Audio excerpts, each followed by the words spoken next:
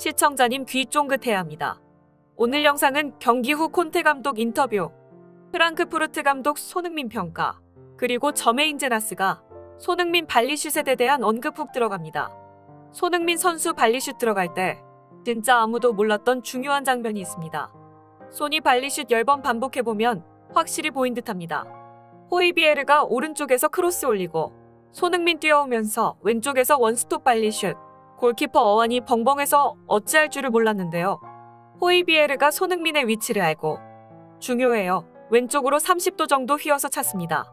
이때 손흥민 도움이 세세뇽에 오프 더 볼이 너무 중요한 듯합니다.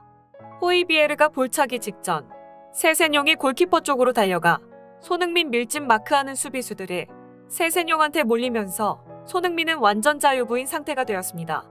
이런 상황에서 손흥민 발리슛이 터졌는데요. 여기까지는 개인적 판단이었습니다. 그런데 말입니다. 축구 전문가 제나스의 견해는 완전 다릅니다. 저메인 제나스 아시죠? 케인 없으면 손흥민 월클 아니다. 어제 경기 토트넘과 프랑크푸르트 경기를 생중계했습니다. 특히 제나스는 생방 중 이번 프랑크푸르트전을 시작으로 지난 시즌처럼 득점왕 경쟁에 뛰어들었다고 말했습니다. 특히 그동안 손흥민 선수가 득점을 못한 이유를 말했는데요. 한마디로 지난 시즌과 비교했을 때 몸에 너무 힘이 들어갔다는 것입니다. 또 후반전은 수비하다 역습 시 너무 지쳐서 빠른 역습을 하지 못한다는 것을 지적했습니다. 이어 현재 영국 언론의 집중 조명을 받고 있는 두 번째 발리슛에 대해서 중요한 말을 했습니다. 왜 손흥민 선수가 헤더로 처리하지 않고 발리슛 할 수밖에 없는 이유도 설명했는데요. 호이비에르가 오른쪽에서 손흥민이 있는 왼쪽으로 크로스를 올렸는데요. 이때 호이비에르가 공을 줄 때 공의 아래쪽을 찍어서 높게 띄우는데 이런 볼 처리는 상대방에게 정확하게 겨냥해서 줄 때 올리는 형태라 합니다. 만약에 볼을 빠르게 차면 손흥민은 헤더로 처리해야 하지만 이렇게 높이 띄우면 공이 느려서 소니가 헤더로 처리하면 속도가 느려서 골키퍼가 막아낸다고 합니다.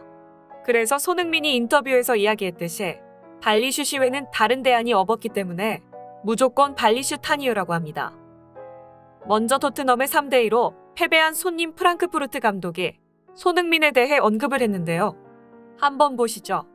우리가 공격하다 공을 빼앗기면 무조건 손흥민이 어디선가 나타나서 우리의 후방 돌파에서 엄청 힘들었다. 손흥민에게 공간을 허용하면 무조건 중거리 슛으로 득점을 하기 때문에 반드시 막아야 하는 선수였다고 평가했습니다. 사실 손흥민은 축구 감독들에게는 가장 골치 아픈 존재라고 합니다.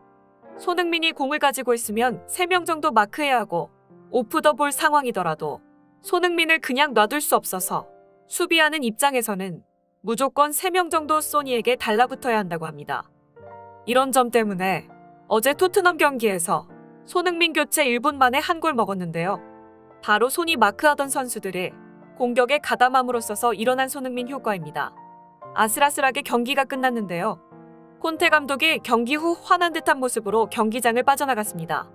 손흥민 교체 이후 벌어진 어이없는 실점에 대해 상당히 화난 모양입니다. 콘테 감독은 인터뷰에서 케인의 마지막 PK 실수에 대해 하마터면 재앙이 될 수 있었다고 말을 했는데요. 마지막 순간이 어려웠다. 우리는 대체로 훌륭한 경기를 했지만 한 골을 실점했다. 하지만 우리의 반응이 더욱 중요하고 또한 우리는 수많은 기회를 만들었는데 이 점이 경기에서 매우 긍정적인 측면이라 생각한다. 하지만 부정적 측면도 있는데 우리는 마지막 후반부에서 엄청나 어이없는 실수를 했고 실점까지 했다. 더군다나 케인이 PK까지 놓쳤을 때 솔직히 너무 무서웠다. 하마터면 그동안 쌓아온 우리의 귀중한 것들을 다 날려버릴 뻔했다. 그래도 이젠 우리가 조이리가 되었다. 모든 것은 우리에게 있다라고 말했습니다. 귀 쫑긋 부탁드립니다. 기자가 손흥민에 관한 질문을 했는데요. 기자는 아마 페리시치와의 조화 문제를 질문하고 싶었던 것 같은데요. 아쉽게도 이 문제는 전혀 언급이 안 되었습니다.